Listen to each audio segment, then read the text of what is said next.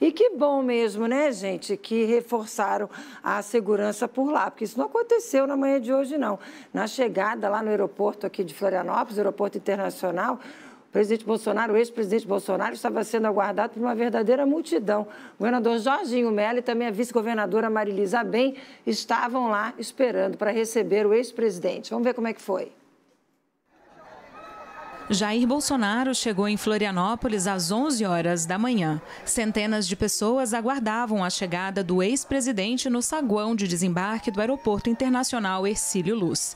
Sem cordão de isolamento e sem número suficiente de policiais para garantir a segurança de quem estava presente, o trajeto entre o terminal de desembarque até a área externa aconteceu em meio a uma grande aglomeração, com empurrões na tentativa de chegar perto do ex-presidente. No estacionamento, Bolsonaro embarcou com Jorginho Melo em uma picape. Aproveitou para tirar fotos e fazer selfies com os apoiadores. Quando o carro iniciou o deslocamento, houve mais empurra-empurra. Alguns apoiadores acabaram derrubando um cadeirante.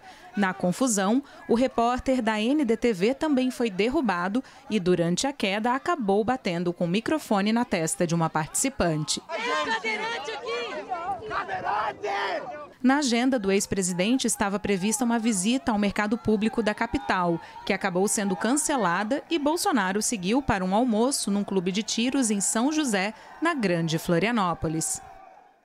E como a gente mostrou na abertura dessa edição, participa à noite desse evento em Camboriú. Ao longo da nossa edição, a gente vai atualizando.